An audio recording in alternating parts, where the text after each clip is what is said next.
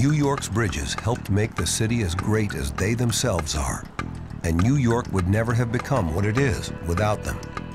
Over the years, four of its suspension bridges have held the title of world's longest. But each one pushed the limits of bridge engineering while tying together portions of a growing city. There's really no other city in the world that you can compare to New York City. Virtually every bridge that went up around Manhattan was one of the greatest of its time. So it was the proving ground for bridge building in the early 20th century. Today, the bridges New York built decades, even a century ago, continue to stand as engineering icons and testaments to a century of innovation.